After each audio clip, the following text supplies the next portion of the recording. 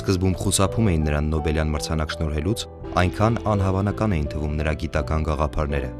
Իսկ ավելի ուշ, երբ Նոբելյան կոմիտեն արդեն ուղղել էր սխալը, նրա համար բացարձակապես միևնույն էր այդ մրցանակը։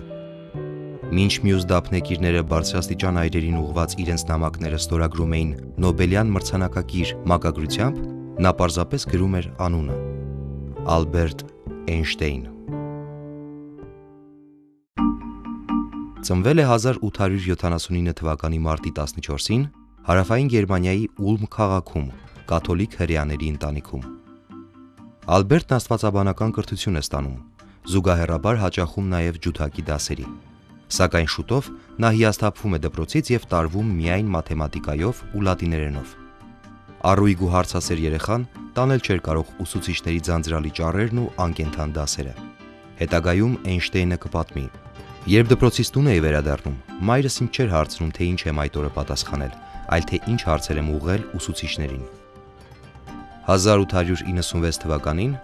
Ալբերտ Էյնշտեյնն ընդունվում է Ցյուրիխի բարձրագույն պոլիտեխնիկական ուսումնարան, որտեղ միանգամից աչքի է ընկնում իր բացառիկ ունակություններով։ 1901 թվականին Ալբերտ Էյնշտեյնը ստանում է Շվեյցարիայի քաղաքացիություն սակայն գրեթե 1 տարի մշտական աշխատանք չի կարողանում գտնել։ Կիսաքաղց ու տառապալից օրերին վերջ է տալիս Էյնշտեյնի լավագույն ընկերը, շվեյցարացի մաթեմատիկոս Մարսել Գրոսմանը, ով ընկերոջն ապահովում է գյուտերի արտոնագրման փորձագետի աշխատանքով տարեկան 3500 ֆրանկ վարձատրությամբ։ Մեկ տարի անց Ալբերտ Էյնշտեյնն ամուսնանում է շվեյցարուհի Միլևա Մարիչի հետ, ով նրա համակուրսեցին էր։ Նրանք երկու զավակ են ունենում եւ ապրում ապահով հարկի տակ։ 1905 թվականին գերմանական մի ամսագրում Էյնշտեյնը տպագրեց 3 փոքրիկ հոդված, որոնք շրջեցին գիտության զարգացման ամբողջ ընթացքը։ Գիտնականն ապացուցեց, որ լույսի արագությունը վակուումում բոլոր ուղություններով հաստատուն է 300.000 կմ/վայրկյանում եւ կախված չէ լույսի աղբյուրի շարժումից։ Այս բացահայտումը հիմք դարձավ հարաբերականության հատուկ տեսության, որն ուսումնասիրում է տարածության եւ ժամանակի հատկությունները առանց ձգողական դաշտի ազդեցության։ Հարաբերականության հատուկ տեսությունն այսօր դարձել է հզոր հետազոտական գործիք միկրոաշխարհի ֆիզիկայում, քվանտային էլեկտրադինամիկայի, տարական մասնիկների փոխազդեցությունների եւ այլ տեսություններում։ 1915 թվականին Ալբերտ Էյնշտեյնը մշակեց նաև հարաբերականության ընդհանուր տեսությունը, որը տարածաժամանակային հատկությունները քննում է արդեն ձգողական դաշտի արկայության պայմաններում։ 1921 թվականին երկարատև եւ անհիմն ձգձգումներից հետո Էյնշտեյնին Նոբելյան մրցանակ է շնորհվում ոչ թե հարաբերականության, այլ ֆոտոէֆեկտի տեսության համար։ Էյնշտեյնը սակայն միանգամայն անտարբեր էր այդ մրցանակի հանդեպ, քանի որ հասկանում էր ուշացումով իրեն սիրաշահելու Նոբելյան կոմիտեի փորձը։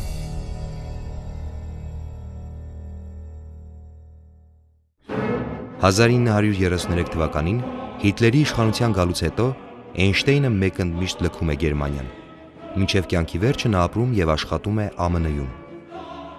1934 թվականին աշխատելով Փրինստոնի համալսարանում Էյնշտեյնը բարեգործական համերգ է կազմակերպում նացիստական Գերմանիայից գաղթածներին օգնելու համար։ Ժամանակակից ֆիզիկայի հիմնադիրը ձեռքն է վերցնում ջութակն ու տարագիր հայրենակիցների համար Մոցարտ կատարում։